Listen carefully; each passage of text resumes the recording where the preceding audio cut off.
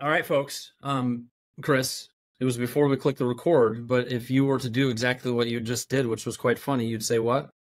And a one, and a two, and a chickafuma chick. Chickafuma? Is that what you said? I don't know the word. Chickabooma. Chickabooma. Chick- Yes. Uh, in, in other words, Chris has listened to a podcast episode or two because he's like, if we're counting down, the music's got to be happening, but you're getting a feel for the for the behind the scenes of it. Turns out it's not live right there. Bailey just works her magic. Oh, there's a little intro. I don't even know what she does. She just makes it happen. It's wonderful. Um, so I have uh, guests here today. Um, we have Chris and Tim from Contento Co. Contento Co. nailed it. It's a little bit of a tongue twister. Um, Contento Co. They're in East Aurora, uh, New York, outside of uh, the big city of Buffalo. We'd already talked about the snowfall and how how the Buffalo Bills stadium gets filled for the playoff games. They also seem to be trending in not a good direction, gentlemen. I don't know if you're Bills fans over there, but all of a sudden they were like, "Ooh, they're going to get their day and they're going to win the title." Um, and now I'd rather be a Lions fan than a Buffalo Bills fan. What say you? We'll see. We'll see. We'll see. And Jared Allen, and, and is it Jared Allen? That's Josh. Jo- Josh Allen, we trust. You do. Okay, all right, we'll see. Didn't, didn't you guys just lose your big wide receiver too? Yeah, he he he didn't do much. Oh, okay. So, listen, All right, Well, you like- guys are just saying. If you want to come over to the Lion side, first time in 50, 60 years, good to be a Lion. I tried, and they couldn't they couldn't get it done against uh they were up right. Yes, I tried. they I were. was I was I was rooting for him. I love uh, Dan Campbell. Yes, they were. They were. uh They did have a 17 point lead going into the second half of the That's NFC Championship game, and they did lose. But let's move on to bigger and better things, like talking about you, gentlemen. Thank you for being a guest on the Remodelers on the Rise show. Um, Chris and Tim are part of the VIP Club, the Foundations program. They've been in that um, since the start of the year, kind of digging into uh, financials and sales process and all of that fun stuff. How's the VIP Club going, folks? Tim, what do you think? What do you think of the VIP Club, Tim? Kyle, it's been going great. I've really, really appreciated the uh, the conversations and the insights from the crew and the team, and and yourself and Bailey, and it's been everything we're hoping for. you guys are implementing too. You're like any training, any coaching, you get out of it once you put into it, and you guys come consistently, and you're always looking for, all right, what's the nugget? What's the next step? What's the improvement that we can make to this? Um, and that's that's where you guys have been up to. So today, today's uh, episode, I want to hear a little bit about you guys, a little bit of your journey, a little bit of your business, um, and then also kind of um, do most of the the time together uh, with a little bit of kind of a coaching call feel to it, talking about a few areas that you guys are looking to streamline, improve, etc. But if we could start, um, you guys are business partners, and uh, tell us a little bit about your business and also how you guys came together and, and created this company. Sure, I guess I'll start. We um the the company was born out of necessity when uh back in 2018 I had acquired some real estate uh properties, investment properties, and got to a point where I couldn't work out of myself anymore while still having a W two job. And uh found a guy and, and hired him. Um some of we had done some work on of else for me and they were working at a uh at the time he was working at a bubble hockey factory where they make bubble hockey tables. And Sounds very Wow. Buffalo-y, by the way. when COVID hit, some some of their friends were not happy with how things were happening with COVID because it really affected the bubble hockey table market, as you can might imagine. And um, we picked up a few more guys, and we had an opposite problem that a lot of people were having, whereas I had a bunch of guys that wanted to work. And so I started talking to other friends, and we were doing small things here and there, mostly in the city for investors. Um, I continued to grow my real estate portfolio, which of grew the company. And eventually we got to the point where we were starting more work in our hometown and getting nicer jobs where we needed more higher skill level of labor. And that naturally progressed. And then it's funny, um, I was able to leave my W 2 job and it happened to be the same day as Tim. And he sent me a text with his new number, and I was like, wow, I was about to send you the same text. And I kind of told him what I was doing, and he said we should get a drink together and talk about things. And um, a month later, he was fully on board, and we did that for the rest of the year. And he became our Well, and Tim, had you had you guys known each other before? Did you work together, or how, what was the relationship? Yeah, we did um a couple different ways. Uh, Chris and I work together for a pretty big general contractor in the Buffalo area, actually an international general contractor. And I had been there for 17 years. Um, I felt it was just time to start something new and um, decided it was time to figure out what I was going to do next. Um, but actually, a, a, number of years back, when Chris and I were working with that same company, uh, Chris actually bought a same town as I did, and then not only that, his his backyard and my backyard were neighbors together as well. Oh. Uh, he's oh, since moved, saw, he's moved away to bigger and better homes, but you know, um, he's uh, but so we've known each other for a while. We've been in touch with kids that are the same age, and um, so just through the years, uh, there's you know, Chris would like to say it was uh, hammer that or destiny that we all met up again down the road. Mm, there we go. Uh, there was this fence company. I saw this sign the other day, and it said installing fences for uh, to keep to keep uh, uh, safe your kids, your dogs, and to um, block your ugly neighbors. That's literally what the side of the road said. And I was talking to him. I said, "Is that you know you guys keep that up?" He goes, "Yeah, it's just we like to have fun. We're kind of laid back. It's part of our culture. We get a lot of positive comments on it." Interesting. But that was not the case for you guys. You guys became fast friends.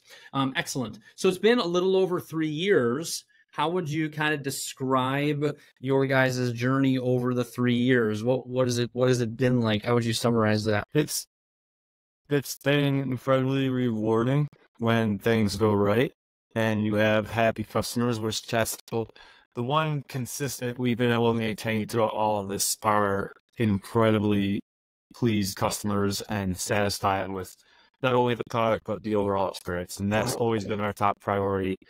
And that's no matter cost. Sometimes financially, just doing the right thing, right? We with the old um, the whole saying, you know, you can never go wrong doing the right thing. You can lose a bunch of money doing the right thing, but um, you know, you call that the cost of tuition, and we move on from that. And so that thing has been amazing. But figuring out how to run a business and then do a profitability and then providing that business that you can give careers to folks and getting the right people in that it's been a process and we're we're finally to that point where we have ten of the best guys you could possibly imagine in the field um, that we go up against any other company and ones established a lot longer than ours just from a pure person standpoint and an individual standpoint. And now it's time where all the pieces have kind of come together and we're looking to scale slightly in terms of building a showroom and a virtual reality space and getting into some of the design and more of our pre-construction services and actually providing that service for other contractors, expanding our selections coordination and doing this next step. which is all exciting and it's like we almost feel like we're taking some steps back because we're finally getting into a place of comfort Mm-hmm. But we know we have to be uncomfortable in order to grow to that next level. So you have 10 in the field and then um, in addition to people in the office? Yeah, we have Tim and myself who we both wear a lot of hats, which we realized is a problem. Um, and then my wife who was initially doing some of the HR payroll and, and those of things. We had brought her on as a full-time selections coordinator. And now we're in the process of hiring uh, two part-time assistants and a hopefully a full-time project manager. Kevin, hey Chris, your uh, wife might end up listening to this podcast. You want to you want to give her a shout out at all, or she's she's surprisingly a rock star. Uh, and I say well, that that's not the best shout out I've ever heard. I mean, yeah, try it try it again. Continue on. I say that as my wife taught for ten years, and then uh, she stopped to stay on with our three beautiful children, and she even had her picking out tile and colors for for us just because it wasn't Tim and I's top thing to do when she yeah. took it, and she's absolutely killing it, and it's been that's awesome.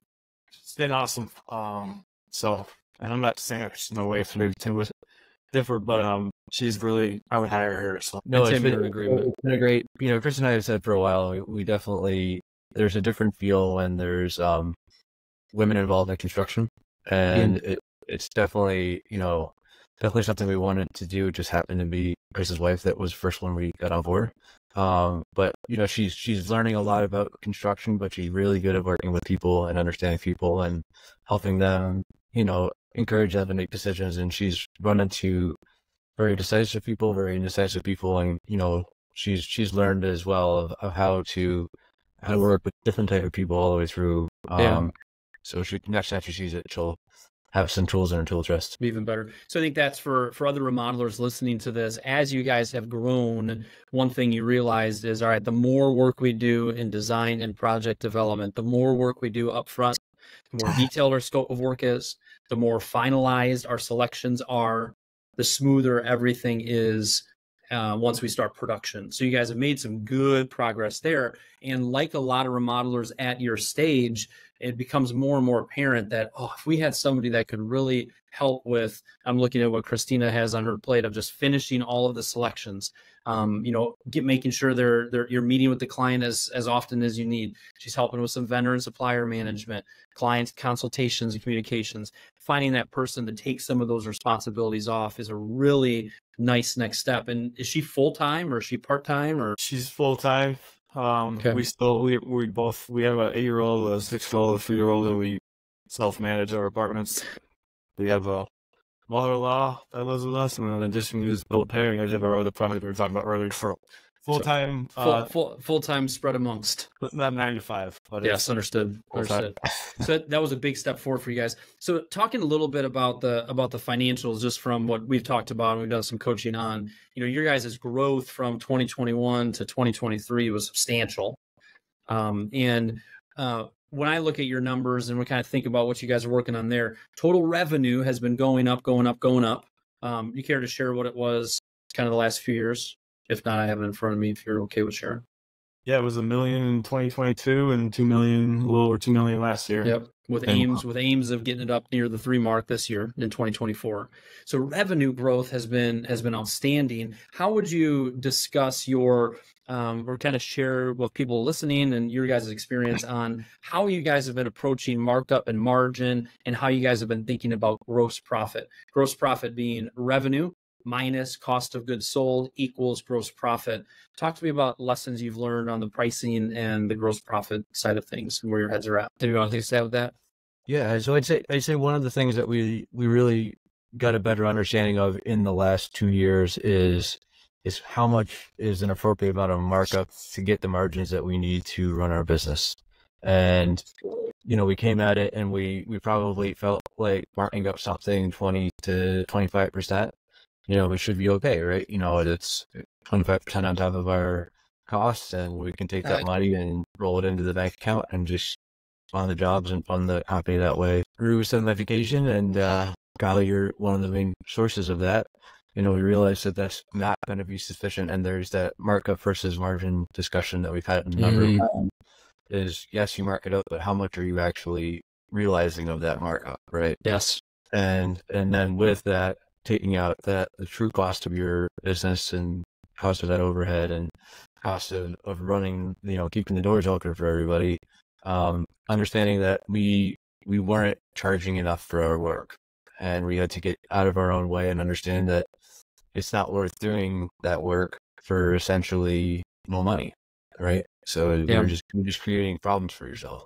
So so over that time, uh, what we also did is we we implemented JobTread as our full project management software. Uh, we used it for everything from estimating to budget management um, to job costing, and and really embracing all of the information that comes out of that um, has been huge for us understanding where our numbers are and then where they're coming in as job goes on. To see grippage and slippage on projects to to have just good clear insight into that probably being one of the primary financial metrics. Yes, yeah, and, and understanding, you know, we've got a target, yeah, and slippage, we've got a target margin for job, and as we've increased them, some of the older jobs that we had estimates for, we can't just tell the customer, oh, we're charging more for margins now, um, even though we had these rules, so we've got to work through some of the older ones, but realizing that, you know, we've got a target and where that variance is and how it happens is, is huge for us to understand. You know so you, you're you've been dialing up the the total revenue dial um pretty pretty solidly. But when you guys were kind of you know flirting around with a 20 25% let's say 25% markup all of a sudden that is a 20% margin. 25% markup equals 20% margin. So out of that $2 million I got my handy dandy calculator here times 0.2. That leaves us with $400,000 of gross profit But the other problem you guys were experiencing, which a lot of remodelers do as well, when we're not watching our numbers, is in addition to maybe not having the markup and margin that we just flat out need, maybe you had some head trash, you had some confidence building of we are worth more, we're going to charge more. But you also, because you weren't watching your job costing, you had some slippage right? Or man, we need to really fine tune our estimating, our templates, watch that closely. Are we you know, we estimated X number of hours. Are we actually, you know, hitting those hours? Are we coming in higher and it's eating into our gross profit? I think you guys experienced some of the pain of that and have really worked hard to improve that aspect mm-hmm. of things, which makes a big difference in just the health of the company and also being able to invest and grow on the overhead expense side, right? Yeah, and really, and really also uh, expanding and building out our pre-construction process is mm-hmm. starting to show some proofs. Um, it really will as we get it fully running and operational because the more we can get hard quotes from subtrades, the more we can get hard quotes from vendors and have that all in line versus taking an estimated number and running a proposal and and you know assuming we'll be good and and you know taking you know we have confidence in the numbers, but the best way to be confident is is to be hundred percent sure and and taking that and running with it. Um, yeah. So that's that's really a big part of, of what we've been focus on is, trying to spend all that time and investment on the front end versus trying to build it as welding and, and, and field. In, in what margins are you selling at now? What markup and margins? So we're making sure we we're at what thirty three percent markup. You know, as we're clicking it up um, okay. to run twenty five percent margin. Um, you know, and we're just trying to find where the market will bear. That one works for us because we run about a 14, 15 company overhead based on our revenue is our ideal state right now. Um, as we grow, we know that we're going to have more overhead expenses. We're probably going to have to push that margin up. But the idea at the end of the day, we want to try to leave a 10% profit for Chris side to split rate. So yeah, and ideally also in your overhead expenses have some owner salary already in there as well. Yeah. Right. So I mean, just even what you're saying there, there's lessons that you guys have learned. There's lessons for people listening to this. You know, paying attention to your gross profit margin, paying attention to your job costing. That two million dollar example, the difference between a 20% margin and a 25% margin is a hundred thousand dollars. That hundred thousand dollars can go to pay and cover investments you're making in overhead expenses, and also enhances what's left at the end of net profit. Um, Chris, who's your next hire that you guys are looking at? Uh, project manager. Okay. Um, now, project manager, are you planning? How do you plan on paying for that person? Are you paying for them out of overhead expense? Are you paying for them out of line items in your proposals and it's more cost of goods sold? How are you approaching that?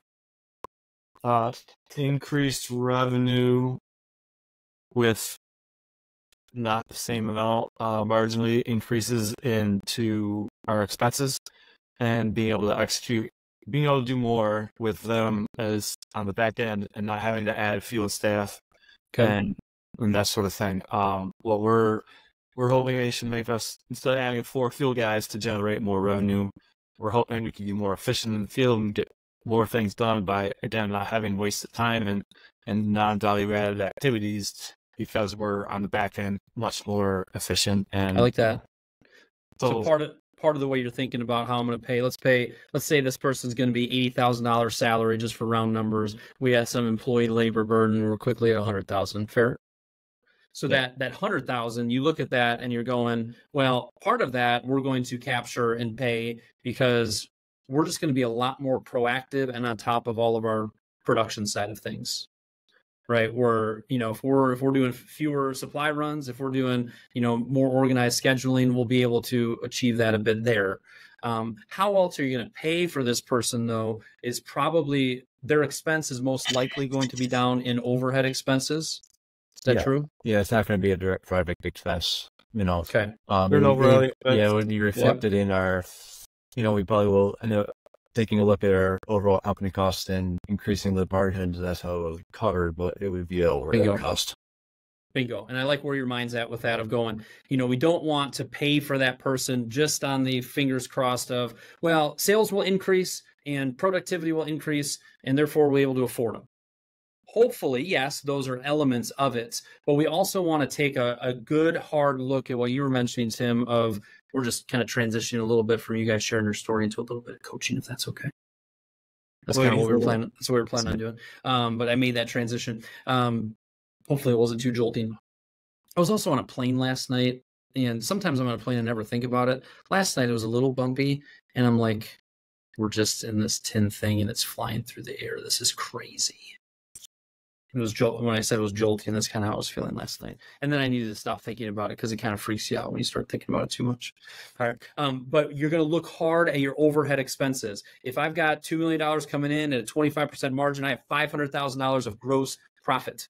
If my overhead expenses are $400,000, that leaves me with $100,000 of net profit, which is not that 10% goal that you that you guys had. That's only 5% right? So looking closely at the numbers, we've got a few different dials that we can adjust. The total revenue dial, yep.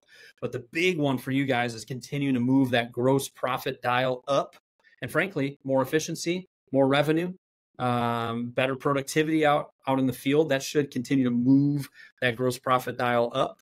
And then we have an additional expense uh, for the overhead side. So I'd really encourage you to really get clear with exactly what your overhead expenses looks like. And if you're wanting to hire a project manager in the next six months, we need to start charging for that now and perhaps looking at changing how we're pricing, you know, our services now versus later, right?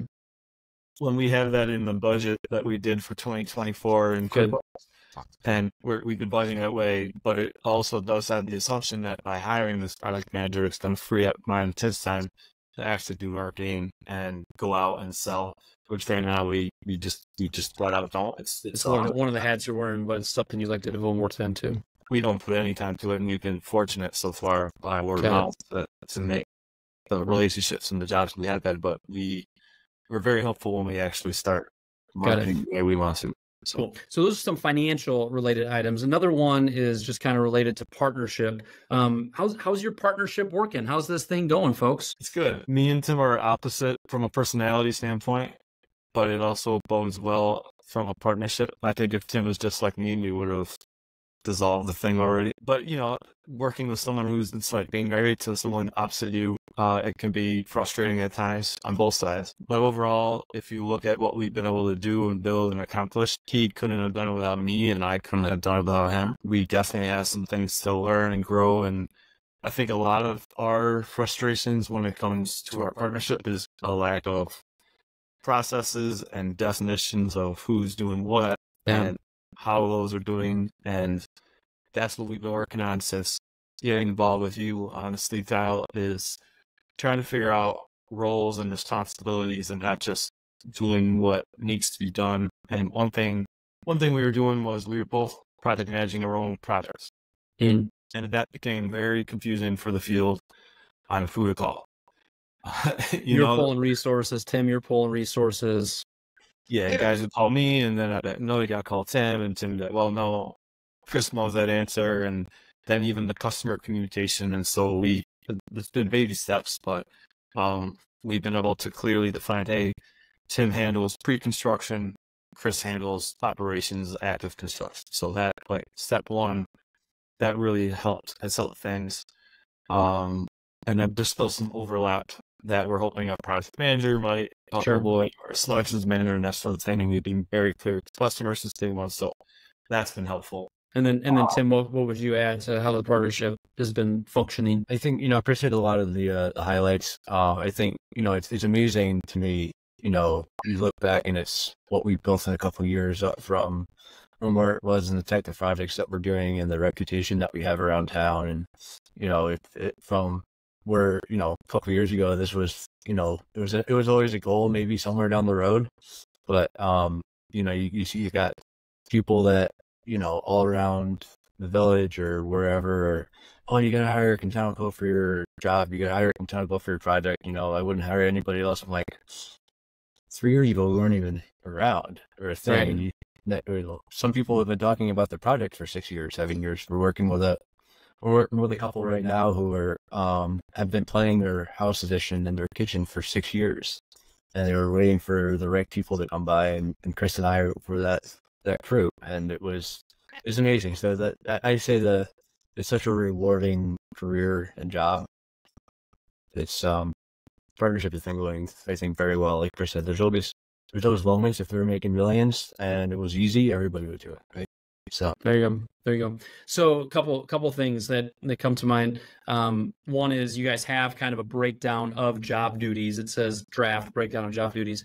That's a great place to start. Is just let's let's get this on paper. Let's get this in a spreadsheet so you have it nice and organized around. All right, Chris, you're doing these things. Tim doing these things. And I think what you guys, there, I see it various ways, but what you just described of being a little bit more siloed, where you know Tim is in charge of the pre-construction.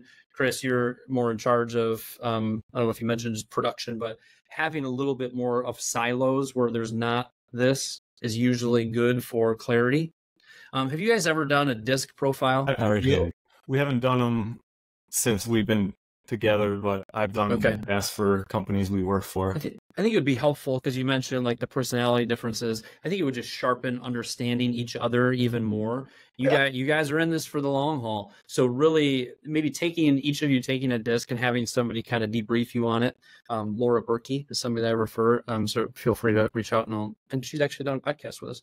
Um, but I, I would recommend doing that because I think it'll just sharpen your guys' understanding of how each of you work. Um, you guys are talking throughout the week, you know, oh, we talk every day, but there's a difference between talking every day and talking about things versus really sitting down, maybe even outside of the office to really do kind of a partner meeting and kind of creating an agenda for that. Maybe you guys are doing that, but I'd recommend making sure you have a regular cadence for that making sure you guys have an agreement between the two of you to to clear the air if there's anything that's bothering each other. You know, you mentioned kind of the marriage side of things. These best practices are very similar to any long-term relationship, right? We better be talking about where we're going. We better talk about how it's going, what's working, what's not going, making sure that um, that we're on the same page. So I think the clear roles understanding personalities better, making sure we're we're definitely not harboring anything, we're clearing the air when we have frustrations, and having a set aside proper partner meeting at whatever interval makes the most sense for you guys. I think those are some of those best practices. Um, you know, Dave Ramsey has a phrase of going, the only ship that doesn't sail is a partnership.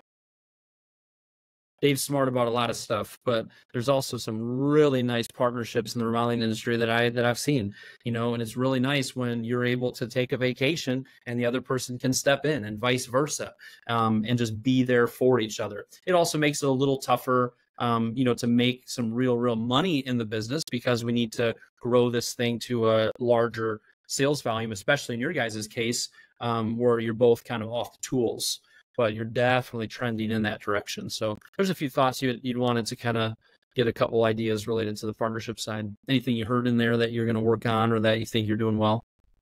I think part of the idea of, of trying to bring on that project manager was to allow Chris and I some more time to be out of being in the business at times and work on the business and work mm-hmm. on our partnership as well and have some time for that. Um, because there's a lot of times where, you know, it, it does get to a point where what I've got going on, what Chris has got going on, and it's like it is a bit of a shit facing in the night at times. Yep. So yep. Just, just hopefully bringing that individual on board will um will help with that. Give us give us some time to set that aside. Yeah, I like that. Chris, what are you looking at? Uh, Son had his uh the EOS method sheets, the vision traction organizers, and the rocks and stuff. Yeah. Uh, it, honestly, I refuse to. I clean my desk a lot, and I refuse to take these pieces off. They're still blank. They've been out here for about two years since Tim and I did this. And th- this is all Tim I need to do is once every month or once every quarter, sit down and look at our three year picture, our core focus, our 10 year target. And it keeps getting pushed to the side of the desk. And that's, that's one thing I think Tim and I can do is have that strictly partnership meeting. Um, yes. And it's just hard because we've got so much going on yep. at work with the kids and like like everyone. Yep. And then we actually sit down and do the meeting, and you're like, "Wow, that, that wasn't bad. We could have fit right." And it it helps. It gives us clarity. It keeps us kind of motivated, and encouraged, keeps us on the same page. So figure out the interval. Does it does it recommend doing it monthly? I believe so. I'd have to read. Yeah, which would which would be amazing. But maybe you start by by doing it every other month you know, and just realizing that that time is very, very, very well spent and that it's very valuable. So there, there's a good takeaway from the partner item. Um, the other the other topic you threw out there that you wanted to kind of chat through is you've got a team of ten out in the field. How do we continue to build uh, their training? How do we continue to build their technical skills? How do we continue to build their leadership skills? How do we fit training into um, into our business as well? You see that as an important um, aspect of things, yeah. Yeah, big time. And and I've kind of had a whole mindset shift since basically for about eight years since we uh, built our house and had our first kid, and got into real estate and this entre- entrepreneurship. And so sometimes I feel feel um, when I'm talking to the guys, I just go way over their head about Mm. Goals and leadership and all this stuff. And this guy's just like, dude, I just fall on the bathroom Man. you know and and i get it it's not for everybody right not everyone wants to run a business and i don't blame them um these days where where i to show up and go work but i do still feel as a company aside from the construction we can still help build people and make people better which in turn should make us a better company and make this a cool place to work so when you're done with the whole thing at the end you can kind of say you know these people and their families and all that get to where they're going Yeah.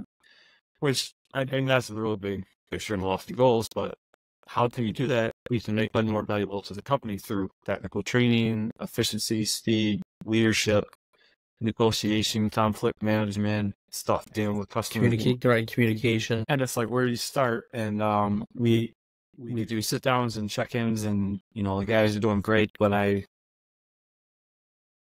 some guys are developing on their own because of that type of guy Mhm. other guys need us to help develop them. And I'm not a great trainer. Our older, our more experienced, our tires, they're great. It's almost like you self-corrected yourself there instead of calling them older. Uh, the last company I worked for, the technical term was, uh, or the politically correct term was experienced hires.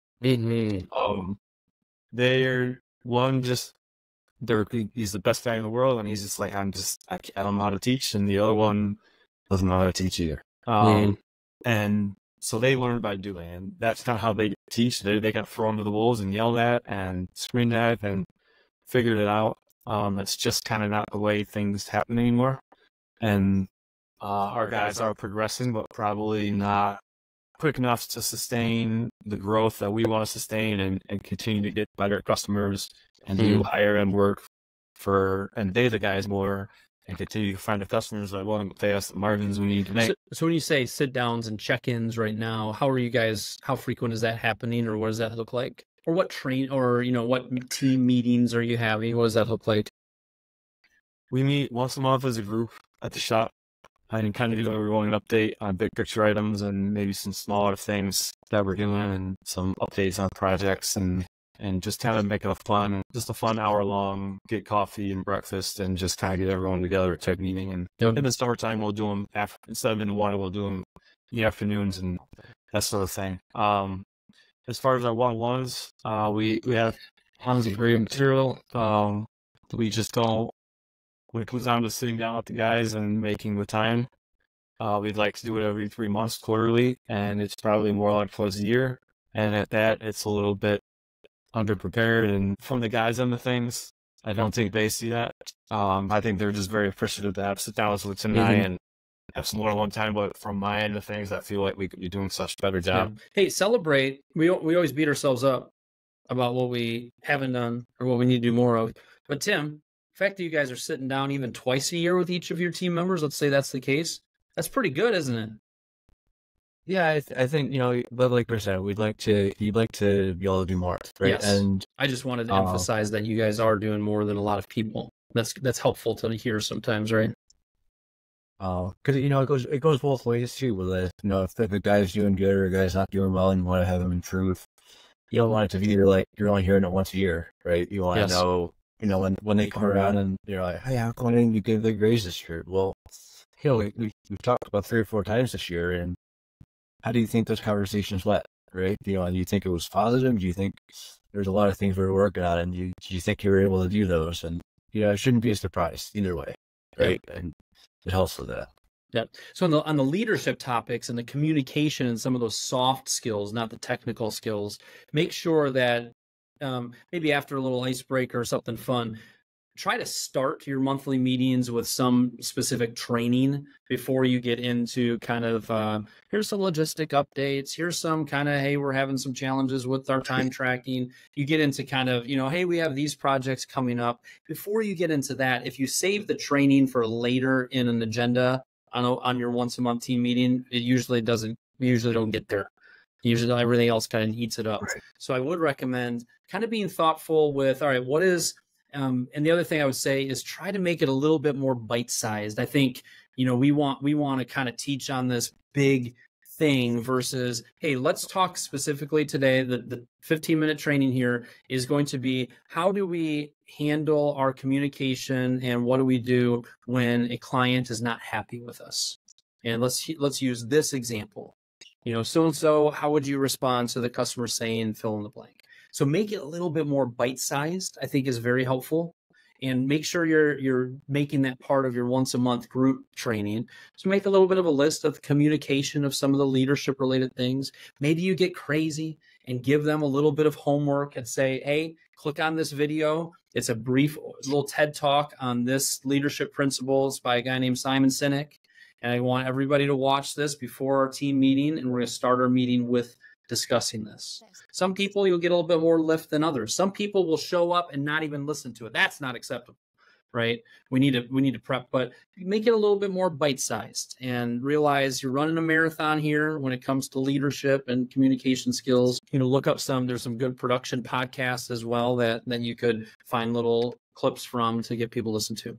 Um, so that's more the group based stuff. And then what you're doing with your with your one on ones, so long as you're identifying some areas of strength to encourage them, and so long as you're identifying an area or two that needs improvements, and then getting really clear with how they're actually going to improve.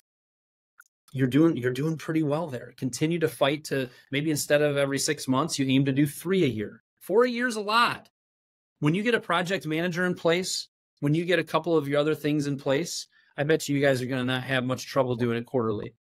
Right now, very difficult. Don't beat yourselves up on it and just say, all right, let's set a little bit less of a goal because our capacity to do that is not as high as it's going to be in the future. Does that resonate? Yes. Yeah, and I think the big the big thing um, is you know you, you mentioned you bought um, purchased a five minute foreman book for all field employees. That's awesome. There's a lot of great training out there. Um, the the Zangles, who you, you may have seen them in the VIP club a bit, they have they have developed just a full out apprentice program.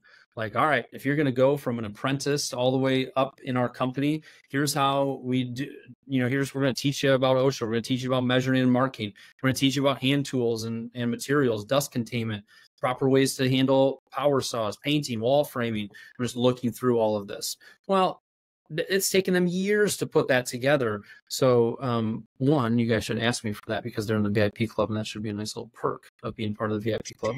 Send me a, send me an email, and I'll send that to you guys.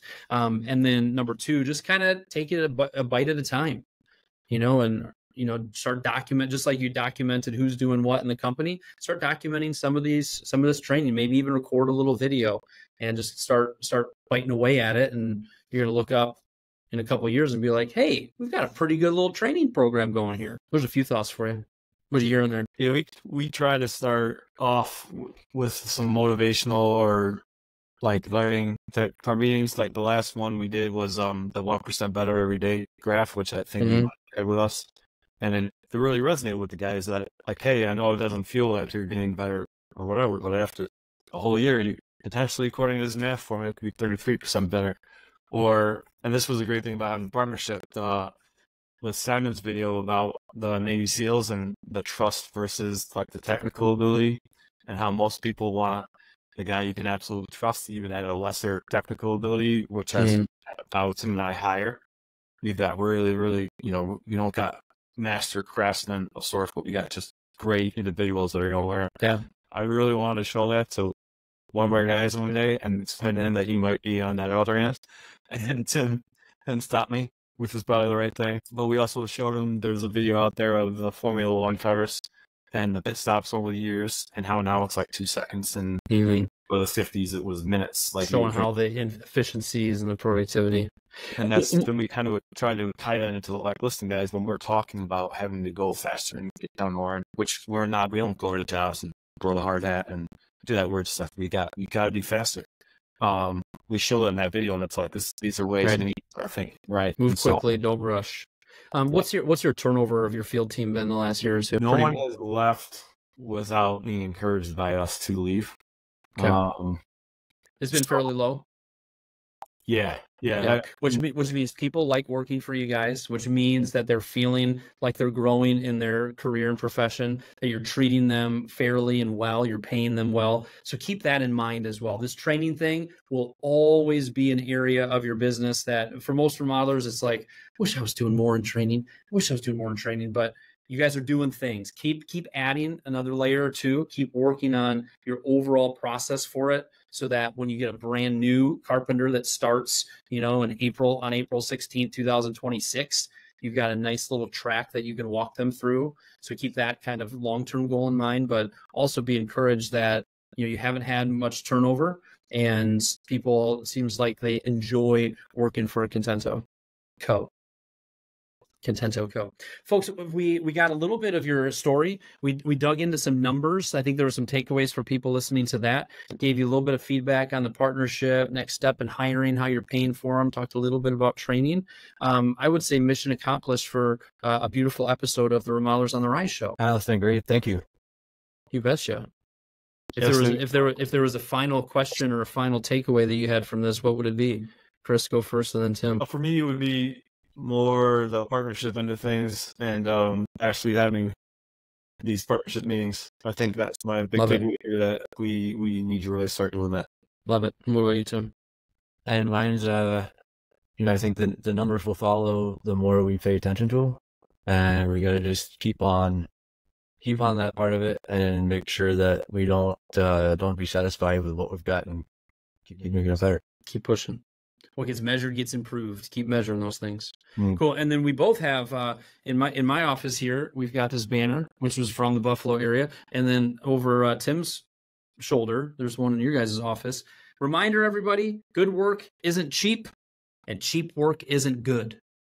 Know your value. Charge accordingly. Watch your job costing to make sure you're realizing all of that gross profit and continue to be remodelers on the rise. Thank you, Chris and Tim. Thanks, Doc. You got See you guys.